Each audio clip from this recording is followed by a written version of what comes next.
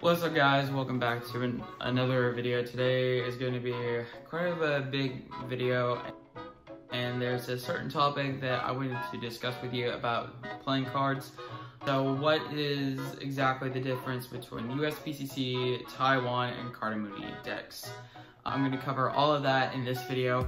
I'm not going to be talking about Expert Playing Card Company or any of those other card companies because I don't have any of those kinds of decks to really explain how that certain stock and finish like feels in the hands.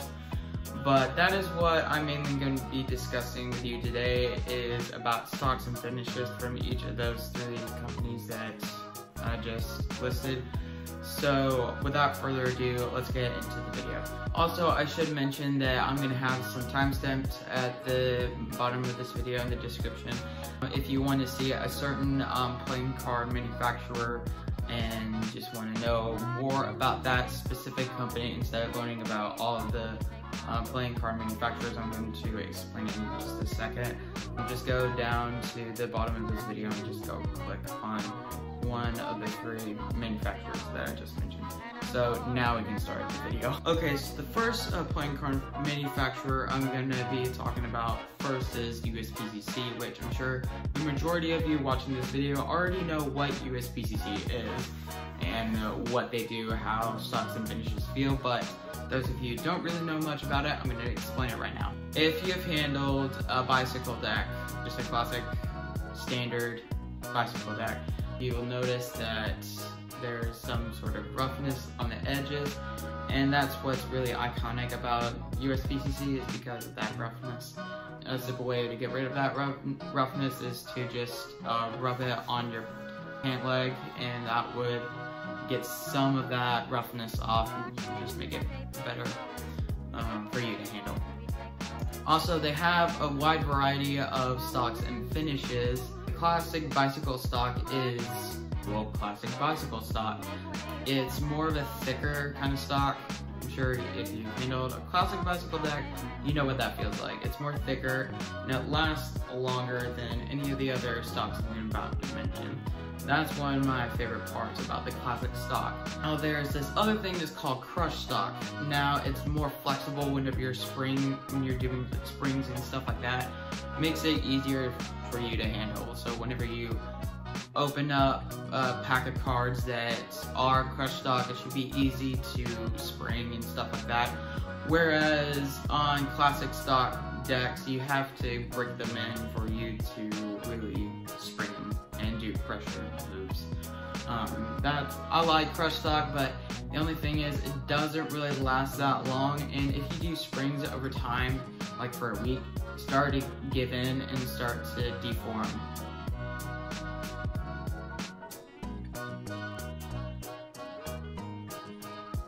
Now onto finishes. Like I mentioned briefly earlier, uh, the air cushion finish, that's the classic um, pair with the classic stock. But there's also this linen finish which is on the Tally Ho decks if you have never handled one of them. Um, they feel really great in the hands once you've broken them in. They last quite a bit of time. I like the linen finish better than the air cushion finish, to be honest. Some of the most well-known brands such as Orbit, Anyone, and Fontaine, they all use USPCC. Well, Fontaine has a few exceptions, which I'll get into later in the video. But yeah, so that's pretty much it as far as USPCC. Alright, so I'm going to be talking about Cartamundi. Um, now, this manufacturer hasn't been printing cards as long as Bicycle has, but apparently Cartamundi bought out USPCC, so I'm not going to even get into that. Cartamundi has been really known for well stocks and do crazy kind of stuff. They do crazy tug boxes. They have great stocks, great finishes. If you've never handled a Cartamundi deck before, I really highly suggest that you should go and buy a Cartamundi deck to really experience the stocks and finishes because I'm sure a lot of you only experienced USPCC decks, but I really recommend trying out some other decks besides USPC uh, printed decks. So I have three decks that have three different stocks and finishes. The first one that I have is the first Cartamundi deck that I got was the Cubeline playing cards designed by Bastian, a really incredible cardist. This is has a thing that's called True Linen B9 Finish. Now this is a very unique kind of different feel to them and a little bit different look to it. If you have noticed on USPCC decks they have little dimples or little air pockets which allow you to easily like, spread, fan, all the above um, decks. Cartamundi can do that with this certain stock, but it just looks slightly different. You can see from this angle that I'm showing you, it, you can see that it looks slightly different. It has more like squares instead pockets, but you can still do really great fans and all sorts of stuff with that. I'm not trying to discourage you, but this look is different from usual decks. That is more of a thicker stock, so it's kind of like the classic stock um, from USPCC, only for Cartamundi, so that's True Linen B9 finish.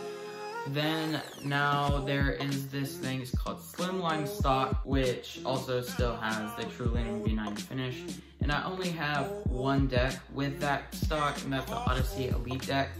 Also, you can see from the video it has really, it has a really great tuck It's very different, um, very abnormal, but I love it a lot. You can see that it still has that different texture on it, but it still handles really, really great. Now, another thing that I've noticed that differs from USPCC is the edges are really, really smooth. Whenever you first open up a Cartamundi deck, it the edges feel really, really smooth. That's the one thing I like about Cartamundi. And whenever you first open them, uh, especially for a slimline stock, it feels broken in right away. You start doing springs and all pressure moves and all that. Now there's this other stock, which personally is my favorite from Cartamundi. It is this C9 square stock. I'll confirm this on the screen. But this has been, that has been the greatest stock I've ever held in my hands from Cartamundi. Cardistry Touch is most remarkable for using that kind of stock, but unfortunately, the company that was making that went bankrupt, so we don't get that stock anymore. But they have been using um, those decks, such as the um, Origin, the Pulse and Pulse Blue, and also the Derive, and that was the last deck to ever have the stock. Now there was one other deck that was called the Diva French Edition and it did have that same exact stock. But this one just felt really, it's really thin. Also really smooth edges on the sides. Felt great in the hands and it lasts a long time. It felt really great in the hands. I wish I could just have more of these kinds of decks with that kind of stock. But unfortunately, like I said, they went bankrupt. So yeah, that's pretty much it for Cartamundi. Alright, so this is going to be the last uh, playing card manufacturer of this video. So this is my favorite, my personally favorite Taiwanese playing cards. So there are two manufacturers in Taiwan. One is Hansen Chin and also um, Dex Playing Card Company. Lotus and Hand made several decks from Dex Playing Card Company.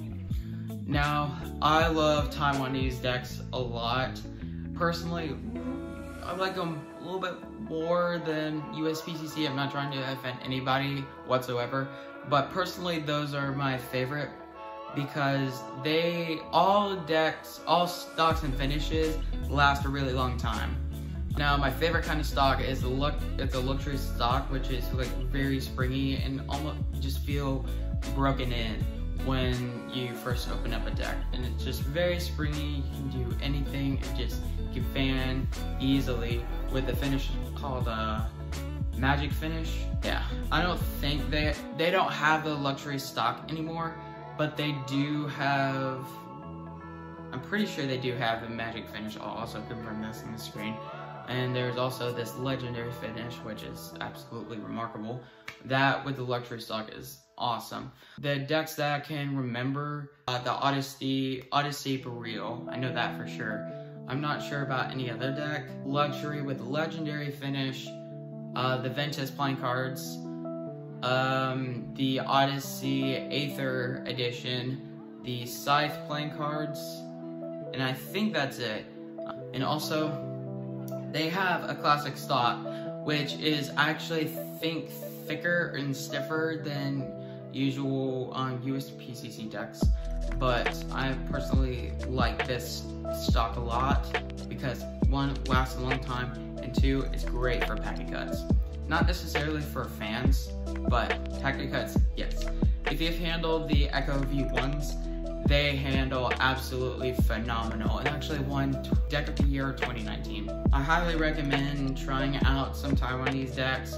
Get one and try it for yourself because I think it will really broaden your view of more different playing cards, not from USPCC. Some decks that are really affordable. Uh, the three Odyssey decks that are available right now are the Odyssey Nova.